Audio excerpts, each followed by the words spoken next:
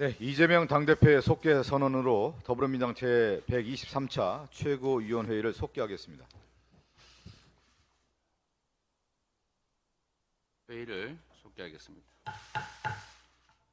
먼저 이재명 당대표의 모두 발언 있겠습니다. 경제적 어려움이 터널의 끝자락을 향해 가고 있다. 제가 드린 말씀이 아니고 지난 주말에 대한민국 경제 수장이 한 말입니다. 정말 깜짝 놀랐습니다. 소기업과 소상공인들의 폐업에 따른 공제금 지급이 5월까지 4만 8천 건 역대 최고를 전망하고 있습니다. 생계비가 부족해서 제때 보험료를 못 내고 해약을 하는 생명보험 계약 규모만 해도 1분기에만 60조 원이라고 합니다.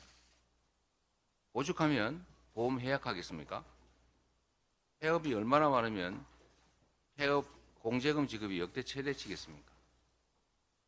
최근 전국적으로 택시 버스 요금이 줄 인상되고 다시 고물가 행진이 이어지지 않을까 국민들이 우려하고 있습니다.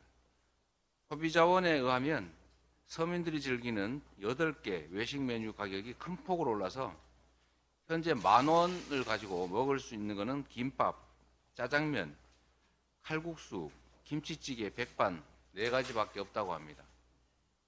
이런 상황인데도 추경호 부총리는 마땅한 대책도 없이 기대 섞인 장밋빛 정만만 전망만 내놓고 있습니다. 정부 역할 없이 이 긴 경기 불황의 터널을 결코 빠져나갈 수가 없습니다.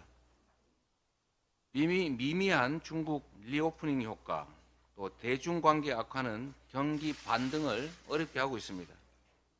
기업들은 하반기에도 경기 둔화가 계속된다는 상저하저를 예상하고 있습니다. 정부는 대체 언제까지 민생을 외면하고 시장을 방치할 것입니까? 취약계층 지원, 소상공인 지원 등의 민생 추경, 경기 회복을 위한 추경에 적극적으로 나서시기를 당부드립니다. 경제라고 하는 것이 가만둔다고 저절로 결코 좋아지지 않습니다. 전 세계 경제는 회복 국면으로 돌아서는데 대한민국 경제만 계속 악화되는 이유를 곰곰이 생각해 보시기 바랍니다. 지금 대한민국 교육의 최대 리스크는 윤석열 대통령인 것 같습니다. 대통령의 말 한마디에 교육 현장이 그야말로 아수라장 쑥대밭이 됐습니다. 수능을 5개월 앞둔 수험생들은 발망 동동 구르고 있고 학부모들은 속이 시커멓게 타들어갑니다. 집권 여당은 수습하기는커녕 대통령이 교육 전문가다 이렇게 치켜세우고 30년 교육 전문가라는 교육부 수장은 자신의 경력조차 무색하게 대통령한테 배웠다라면서 대통령 두둔하는데 여념이 없습니다. 더 큰 문제는 대혼란을 초래하고 다시 나몰라라 하는 대통령의 무책임한 태도입니다. 만 5세 입학 정책 제안을 한 후에 교육부 장관을 경질했습니다. 주 69시간 노동시간 개편이 논란이 된 다음에 노동부 탓만 했던 모습과 한박입니다. 일단 던져놓고 논란이 되면 그런 뜻이 아니다 라면서 국정 무책임만 반복 중입니다. 멀리 내다보고 신중하게 결정해야 합니다. 국정을 안정적으로 이끌어야 합니다. 교육을 백년지 대계라고 하는 이유를 생각해 봐야 합니다. 정부는 원점에서 재검토하기 바랍니다. 교육 정책의 궁극적 목표가 무엇이고 어떻게 실천할 것인지 분명히 해야 합니다. 제도를 바꾸지 말라는 것이 아니라 제도를 바꾸려면 정말로 깊은 고심, 연구 끝에 혼란이 없도록 안정적으로 준비해야 한다는 말씀을 다시 한번 드립니다. 이상입니다. 다음으로 박광원 원내대표의 발언 있겠습니다. 네, 지난 겨울에 전기 요금을 내지 못하거나 전기와 가스를 차단한 채 지낸 국민이 어, 무려 5만 명이 넘는다는 한국사회보장정보원의 통계가 있습니다. 이른바 에너지 빈곤 가구입니다. 에너지 사각지대의 빈곤 가구가 1년에 두 배로 늘었습니다. 소득 하위 20%의 필수 생계비가 가처분 소득의 90%를 차지하고 있습니다. 보물가의 공공요금까지 급등한 결과입니다. 소득 하위 20%의 지출 1순위는 주거비와 연료비, 2위가 식료품비, 3위가 의료비입니다. 말 그대로 기초 생활을 위해 꼭 필요한 소비입니다. 상위 20%는 교통과 음식, 숙박, 그리고 교육 순으로 나타났습니다. 미래를 위해서 소비합니다. 에너지병이 우리 사회의 양극화를 더욱 심화시키고 있습니다. 이런 상황에서 올여름 역대급 폭염에 냉방비 걱정이 벌써부터 큽니다. 자영업자와 경로당, 사회복지시설의 냉방비 경감 대책을 마련해야 합니다. 또 우리 아이들이 찜통 교실에서 고통받는 일은 결코 없어야 할 것입니다. 정부가 지금 바로 나서기 바랍니다. 에너지 부담 완화를 위해서 추경이 반드시 필요합니다. 국가 재정이 모든 국민에게 무더위를 날려버릴 시원한 바람이 되길 기대합니다. 정부가 추경안을 제시하면 민주당은 협의할 준비가 돼 있습니다. 우선 민주당은 정의당을 비롯한 야당들과 추경 대화를 먼저 시작하겠습니다. 대통령이 쏘아 올린 공이 수능 불안과 불신의 파장을 불러왔습니다.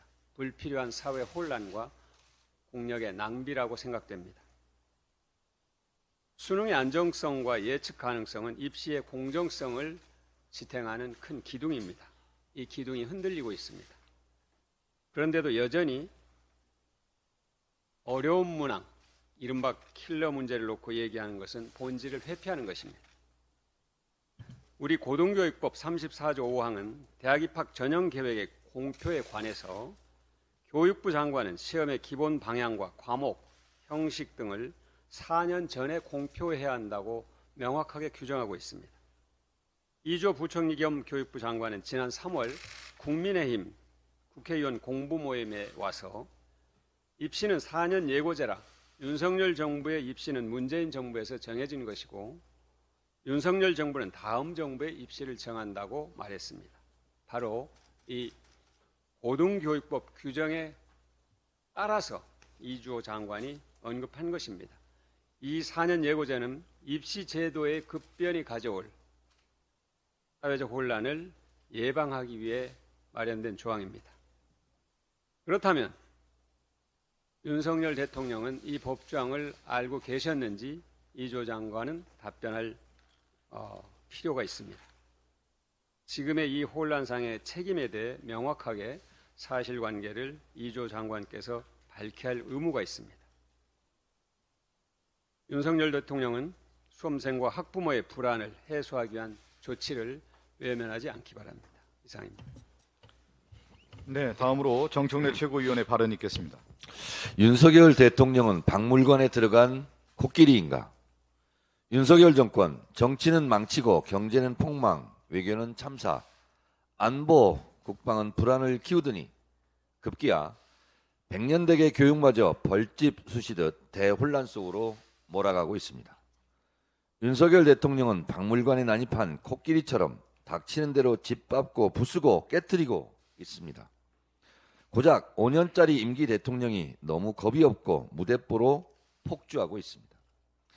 윤석열 대통령이 뭘 안다고 대입 수능 시험에서 초고난이도 킬러 문항을 출제하라 하지 마라 합니까? 수능 시험 문제까지 감나라 배나라 합니까? 지금 당신께서는 무슨 말을 하고 있는지, 무슨 뜻인지, 어떤 흑폭풍이 있을지 알고나 있습니까?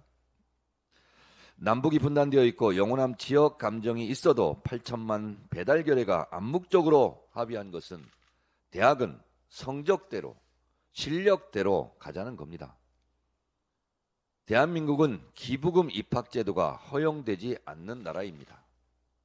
오로지 성적으로 대학 가는 것이 것이지 그 외에 어떠한 요소도 배제되어 있습니다. 예전 학력고사가 암기력 테스트라면 수능은 종합적 사고 능력의 측정입니다. 대입 수능의 핵심은 변별력입니다. 물 수능도 문제고 불 수능도 문제입니다. 물 수능, 불 수능이 되면 변별력 저하로 수많은 억울한 수험생 피해자들이 생깁니다. 이는 마치 집값이 갑자기 뛰어도 갑자기 떨어져도 양쪽 다 피해를 보는 이치와 같습니다. 입시비리 수사해봐서 수능 전문가라고요? 그럼 음주 단속한 경찰관들은 술 제조 명인입니까? 정치 수사를 많이 한 윤석열 대통령 그런데 왜 정치는 꽝입니까? 왜 이 모양입니까? 대입 수능 출제는 매우 정교하고 고도화된 전문 영역입니다. 대통령이 뭘 안다고 엉뚱깽뚱한 지시로 전국의 고3 교실을 혼란의 도가니로 몰아넣습니까? 한국교육과정평가원이 책임 기관이지만 평가원장도 수능 출제 문항에 대해 이래라 저래라 못합니다. 출제위원장과 출제위원들의 세심하고 정교한 조율로 난이도 조정을 해도 수능 시험이 끝난 후 끝난 후 물수능이다 불수능이다 말이 많은데 수능 시험 불과 5개월을 앞두고 이 무슨 해괴한 난동입니까? 코끼리는 빨리 박물관을 나와야 문화재를 보호할 수 있습니다. 코끼리를 돌려보내야 합니다. 윤석열 대통령은 하루빨리 수능 시험 개입에 사과하고 수능 관계자 자율 독립을 보장하겠다는 선언을 하시기 바랍니다. 그렇지 않으면 후쿠시마 핵 폐수 못지않게 수능 핵폭탄이 정권의 목을 겨눌 것입니다. 명심하고 또 명심하기 바랍니다. 진료는 의사에게, 약은 약사에게, 수능은 출제위원들에게 맡기고 무능한 아마추어는 제발 가만히 있기 바랍니다. 가만히 있으면 중간이라도 갑니다. 장재원 신임 가방위원장이 제가 선임한 헌재 권한쟁의 심판 담당 변호사를 바꿔치기 하겠다고 합니다. 방송법 통과 현장에 장재원은 없었습니다. 뭘 안다고 월권을 하고 비용을 낭비하고 혼선을 야기합니까? 야기합니까? 새로 변호사를 선임하면 기존 변호사 수임료 2,700만 원이 날라가고 새로 국회 예산으로 변호사를 또 선임하겠다는 겁니까? 장재원 위원장 개인 돈으로 하시겠습니까? 가방이 방송법 통과에 대해 권한쟁의 심판 의 시간 끌기용 꼼수도 유감스럽지만 당시 가방위원장으로서 적법한 변호사 선임 권한을 침해하는 또 다른 모순을 즉각 처리해 중단하기 바랍니다. 이 자체가 권한쟁의 심판 대상 아닙니까? 방송은 장악할 수도 지배할 수도 없고 특히나 가방위원장이 휘두르는, 휘두르는 칼에 쓰러질 방송도 없다는 사실을 명심하기 바랍니다.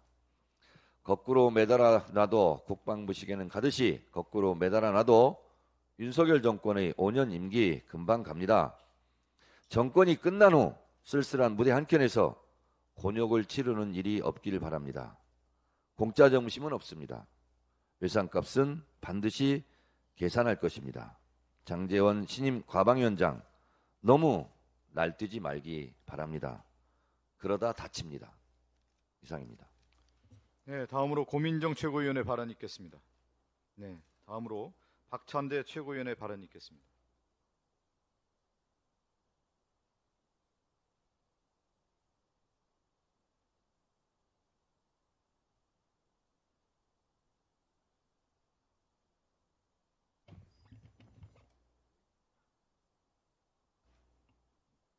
국힘당 김기현 대표님 부끄러운 줄 아시기 바랍니다. 어제 교섭단체 대표 연설은 역대 최악의 남탓시오, 내로 남불시오였습니다. 여당 대표 연설인지 극우 유튜버 방송인지 헷갈리는 수준 낮은 내용이었습니다.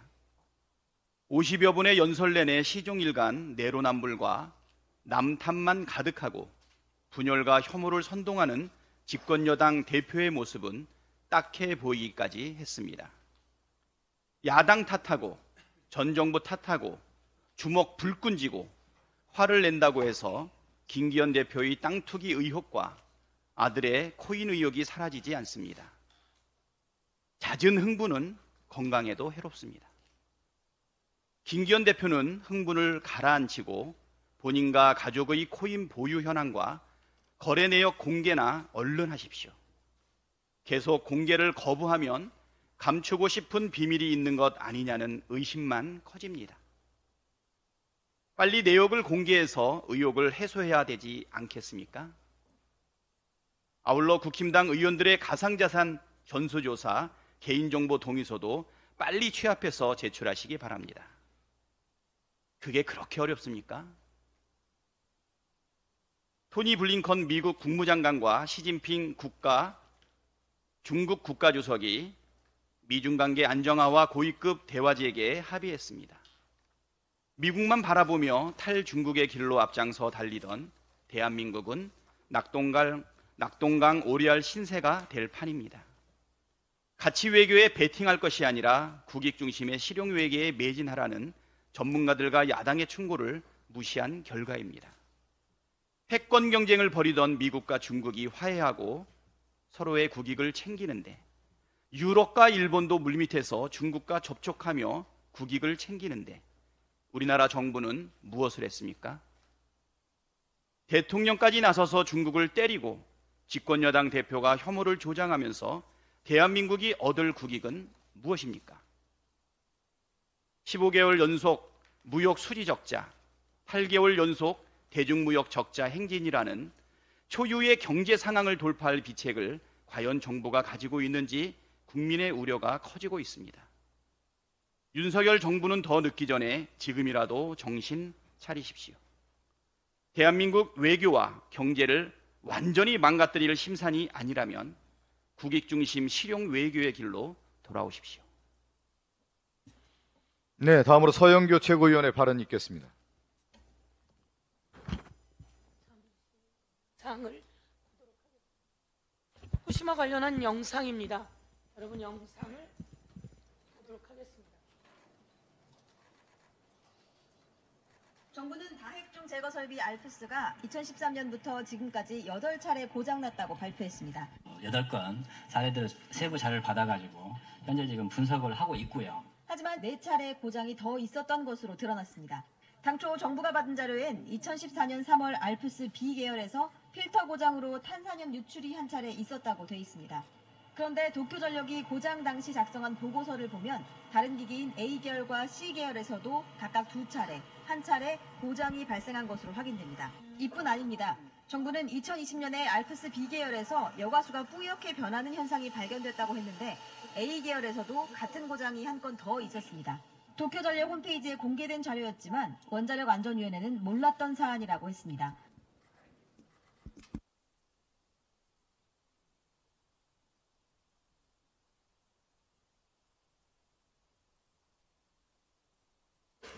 여러분 보셨습니까? 대한민국 정부가 후쿠시마 원전 오염수 관련해서 브리핑을 했습니다. 알프스 여과 장치가 8번 고장났다고 했습니다. 도쿄전력으로부터 받은 자료라고 했는데요. 우리 당의 이정문 의원이 도쿄전력 홈페이지에 가 보니 네 번이나 더 고장이 났던 게 발견된 겁니다. 그네 번이나 더 고장 난 것도 도쿄전력 홈페이지에 있는 내용입니다. 도쿄전력이 준 자료만 가지고 딸딸딸 읽었던 대한민국 정부 이 사람들 모두 다 책임져야 합니다. 네 번이나 더 있었고 그 과정에서 거르지 못한 내용이 나왔고 이렇게 해서 거르지 못한 모든 핵종들이 있는데 이런 것을 보고 과학적으로 안전하다는 이야기를 하면 될까요? 그렇지 않습니다. 그리고 후쿠시마현 바로 옆에 있는 미야기현에 있는 지사가 도지사가 현 도지사가 이야기를 합니다. 일본의 정부 관계자를 찾아가서 이야기합니다. 이렇게 하면 안 됩니다. 방류하면 안 됩니다. 방류 외에 고체로 만들어서 땅에 묻는 방법도 알아봐 주십시오. 라고 이야기를 합니다. 일본에 있는 주지사들이 이런 이야기를 하는데 왜 대한민국 정부는 엉뚱한 거짓 해명들을 하고 있는 거죠? 이 거짓 해명의 최고 명령권자는 누굽니까? 제가 보기엔 윤석열 대통령이라고 생각합니다. 윤석열 대통령과 국힘당이 후쿠시마 핵 오염수 방류를 방조하고 있고 부추기고 있고 거짓말까지 하고 있는데 여기에 대해서 철저하게 법적 조치가 있을 거다 이렇게 말씀드리겠습니다. 대통령이 이렇게 일본 참사 그리고 외교 참사, 안보 참사를 하더니 근데는 교육 참사까지 일으켰습니다. 대한민국의 경제 폭탄은 대통령이었습니다. 대한민국에 이제 교육 폭탄이 대통령까지 이르렀습니다. 수능 150일 남기고 수능 폭탄을 던지는 대통령이 어디 있습니까? 이렇게 무책임한 대통령이 어디 있습니까? 이런 대통령의 잘못된 발언을 이제 떠넘기기로 대학 교육국장을 아, 경질시켰습니다. 대통령은 당신이 하신 말씀은 당신이 책임져야 되는 것 아닙니까? 그런데 이것을 대학 아, 관련 교육국장을 경질시키는 일로 하고 한국교육평가원을 감사한다고 했습니다. 한국교육평가원 원장이 사표를 냈습니다. 한국교육평가원 원장이 말이죠. 올 3월에 아, 이번 수능 관련해서 입장을 발표했습니다. 입장을 발표했는데 그 발표를 했는 것을 윤석열 대통령이 알고 있는지 모르겠습니다. 박대출 어, 정책위 의장은 이런 얘기를 했습니다.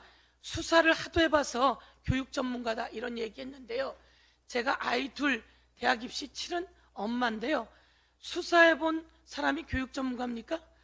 수능 당사자인 학생들 그리고 수능 학생들과 함께하고 있는 학부모 그리고 학교 선생님들 이들이 갖는 불안은 올고지 윤석열 대통령 탓이다 이렇게 지적하겠습니다. 이상입니다. 다음으로 장경태 최고위원의 발언이 있겠습니다. 정부와 여당이 연일 당정회의를 개최해 수능 대혼란에 대해선 전 정권 탓, 소금 사재기에 대해선 민주당 탓을 했습니다. 문제 생기면 남 탓만 하는 국정 운영이 정말 지긋지긋합니다. 현행 고등교육법 제34조 5항에는 교육부 장관은 시험의 기본 방향, 과목, 형식 등을 4년 전에 공표해야 한다고 명시하고 있습니다. 대입 전형의 혼란을 줄이기 위해 이른바 4년 예고제를 둔 것입니다. 그런데 대통령이 수능 출제 방향에 직접 개입하여 5개월 전에 3년에서 12년간의 노력을 물거품으로 만드는 수험생 학부모에게 멘붕을 준 것입니다. 수습이 안 되자 사교육 어쩌면서 전 정권 탓을 꺼내며 남 탓을 시전하고 급기야 담당 국장과 수능 출제 기관장이 사임했습니다. 이게 조폭 운영이지 국정 운영입니까? 한간에는 검사에게 한 자리 더 주려고 전국 입시생을 볼모로 잡았다는 얘기마저 떠돌고 있습니다. 입시 비리 수사한 검사는 대입 전문가로 내세우는지 지켜볼 일입니다. 그럼 금융 비리 수사한 검사는 금융 전문가, 버닝썬 수사 검사는 유흥 전문가입니까? 천공 스승이 몇 년 안에 수능이 없어진다. 앞으로 대학 가는 방법을 다 바꿀 거다라고 했는데 또 천공의 가르침입니까? 그간 윤석열 정부가 소금 사재기 현상을 날씨 탓이라고 했는데 김기현 대표는 민주당의 오염수 괴담이 소금 사재기를 만들었다고 합니다. 날씨 탓 물타기가 안 먹히니 민주당 탓으로 돌리려는 것으로 보입니다. 소금 사재기 현상의 근본적 원인은 일본 후쿠시마 오염수 방류입니다. 또한 계속해서 오염수 괴담 운운하실 거면 일본 현지에서 나오는 불안과 공포도 괴담이라 규정하시고 괴담 선동 대응에 일본에까지 확대해 주시기 바랍니다. 왜 일본 탓은 안 하고 남 탓에서 제외합니까? 한국만 상영- 상영 되지 않고 있는 넷플릭스 더 데이즈의 빠른 방영도 촉구합니다. 이런 상황에서 김기현 당 대표는 공개, 비공개 어떤 토론도 나서지 못하면서 교섭단체 연설에서 방구석 여포처럼 고래고래 큰 소리만 쳤습니다.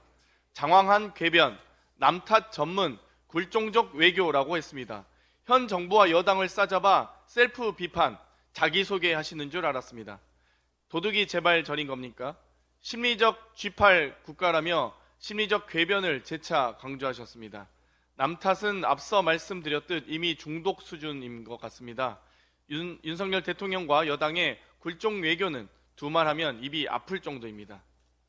아드님의 가상화폐 먹튀 의혹엔 동문서답, 국민의힘 내 돈, 돈봉투 살포, 공천 헌금 의혹엔 묵묵부답, 김기현 당대표는 뒤로 숨지 마시고 집권 여당 대표답게 아들 코인 문제부터 답을 하시기 바랍니다. 이상입니다. 다음으로 송갑석 최고위원의 발언이 있겠습니다.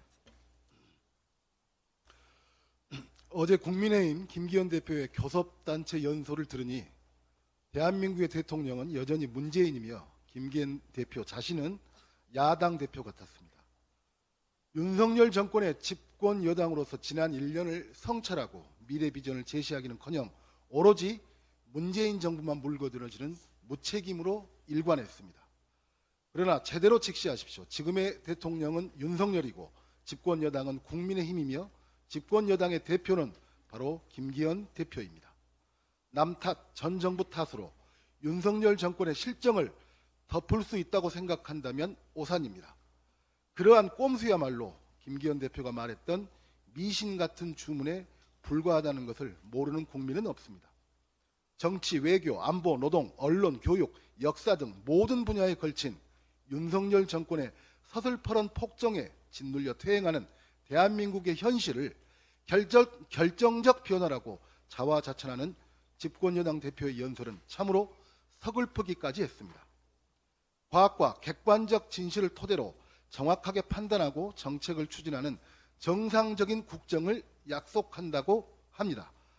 교육의 교자도 모르는 대통령의 말 한마디에 수능을 5개월 앞둔 수험생과 학부모들, 교육계가 혼돈에 휩싸여 있습니다. 이것이 정확하게 판단하고 정책을 추진하는 정상적인 국정 운영입니까? 의원 정수를 10% 감축하자고 합니다. 대한민국 국회는 지난 3월 20일 아, 사- 지난 3월 20년 만에 전원위원회를 열고 선거제도 개편을 논의했고 5월에는 선거제도 개편을 위한 국민 공론화 조사가 실시됐습니다.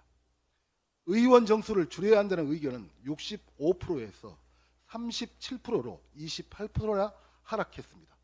비례대표를 더 늘려야 한다는 의견도 27%에서 70%로 무려 43포인트나 증가했습니다.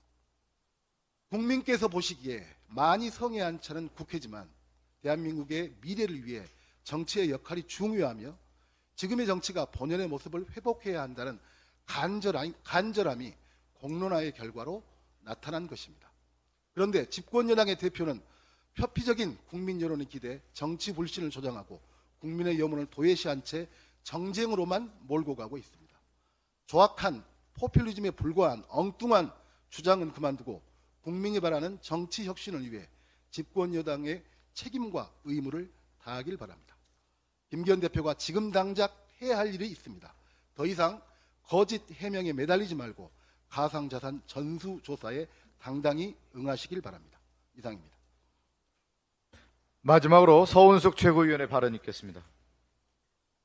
황보승 의원의 자필 메모에 기록된 불법 정치 자금 수수 금액은 2억이 넘고 사실혼 관계라고 주장하는 부동산 개발업자 회사의 신용카드 등을 사용한 금액까지 합치면 불법 정치 자금 금액은 예측하기 힘들 정도입니다. 더 큰 문제, 본질적 문제는 따로 있습니다. 불과 얼마 전에 가상화폐에 투자한 민주당 국회의원이 탈당했을 때 국민의힘 지도부는 위장 탈당 쇼라고 맹비난했습니다.